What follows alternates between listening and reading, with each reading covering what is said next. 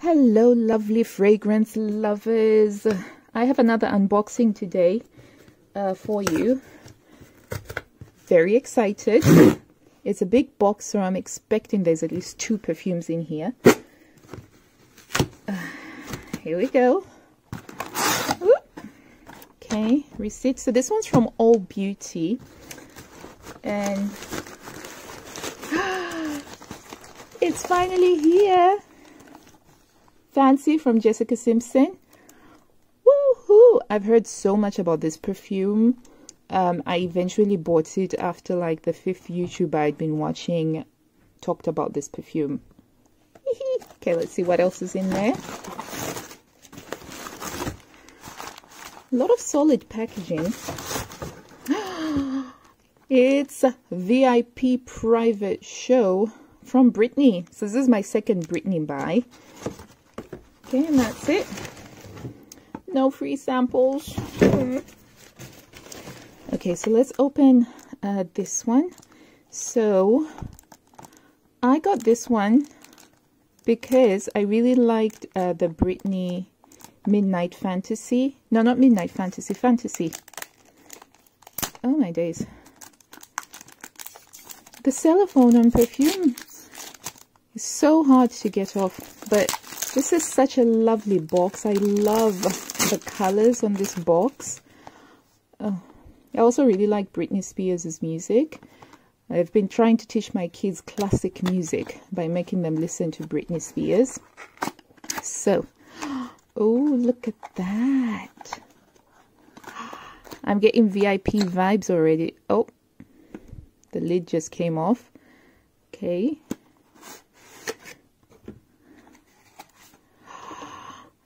What a nice bottle. Beautiful bottle. I'm in love with this bottle already. I don't even care if the perfume is that good. I love the bottle. It's like a multifaceted diamond. Huh, awesome. Okay now fancy. I have so many high expectations for this uh, because i've just heard good things about it. And most people who talk about it They've had nothing but fantastic, fantastic reviews. Right? I'm also liking the pinky sheeness of it. So I got all of these on All Beauty and they do super fast postage and packaging. I love, love them for that. Look at that. Oh. Oh, I love the bottle. I love the bottle. Love the bottle. Let's try them, shall we? I'm going to start off with Britney Spears VIP private show.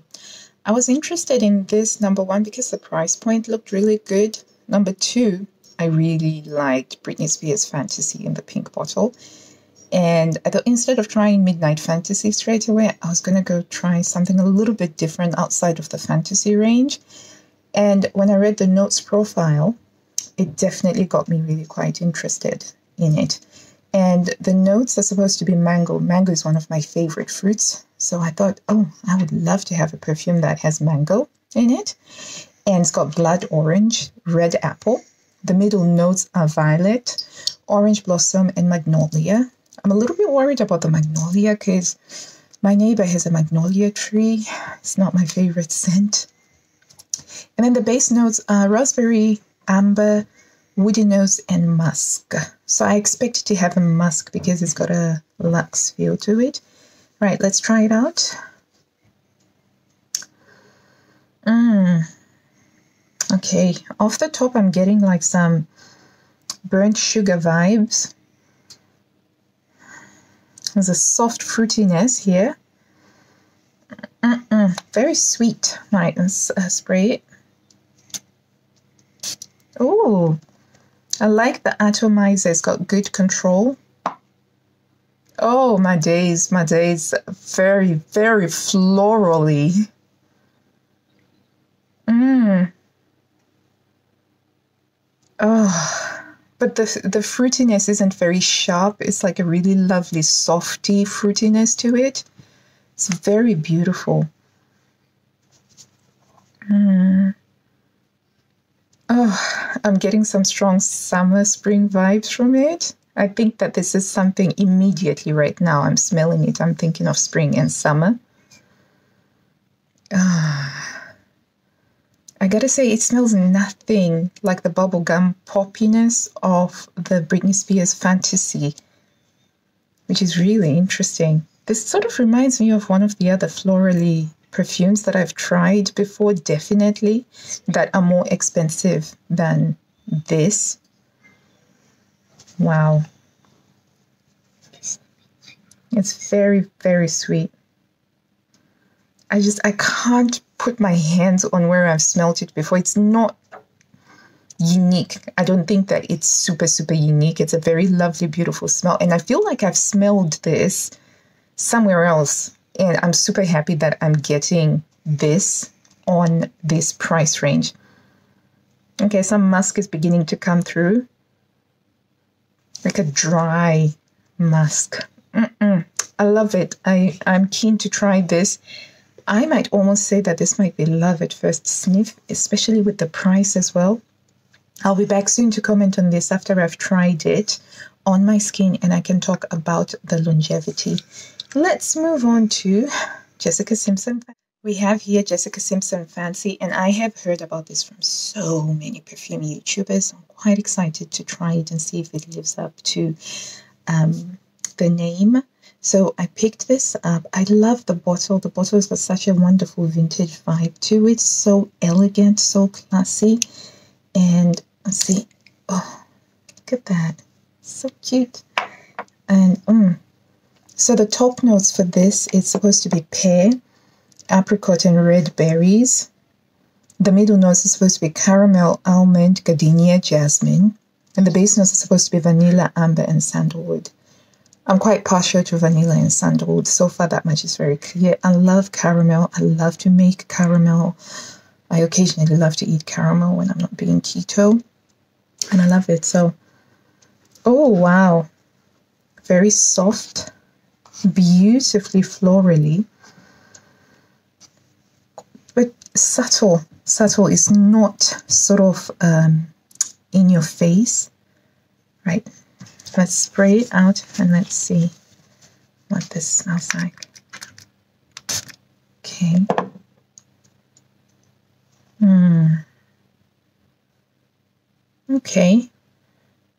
A little bit slightly synthetic And when I say synthetic, I mean um, it sort of reminds me of uh, sprays that come out of an aerosol can, just a little bit.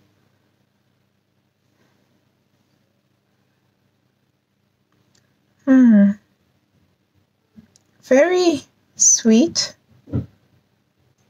Uh, quite sharp. I'm getting a very sharp uh, tinge to my nose. Okay. It's a little bit rich, but not quite as rich as, say, the Reb'l Fleur.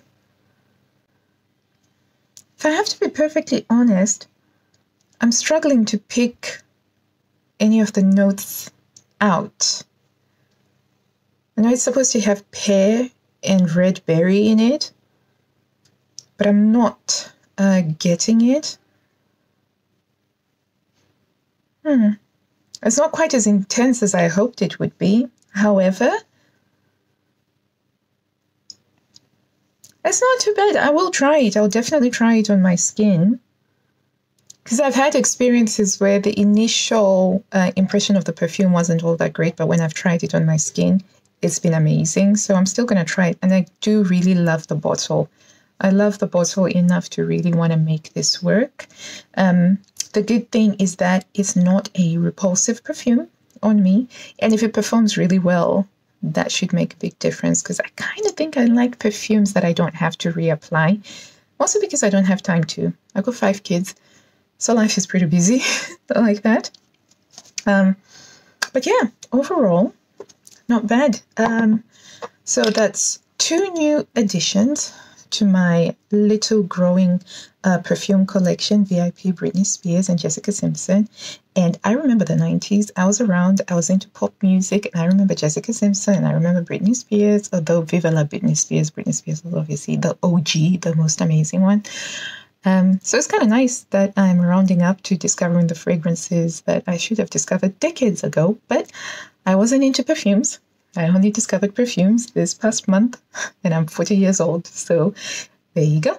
I probably shouldn't be liking these perfumes, but I like them, and I'm definitely going to be wearing them. Loved this one, heck of a lot more than this, but I haven't given up on this yet. It's it's got some interesting um, things going on with it, and I'm definitely going to be trying it. Thank you so much for watching. I hope that you subscribe and you uh, hit that like button. And you can uh, join me during this uh, fragrance madness where I've just discovered perfumes and I'm in love and I have taken to perfumes like a soft drug and I just love them. I think about perfumes all the time. I'm collecting perfumes, I'm reading about perfumes, I'm learning about perfumes. So if that's your jam, subscribe and I'll see you next time. I will be reporting back with how these performed on my skin and what the longevity was like. But I love these, love them.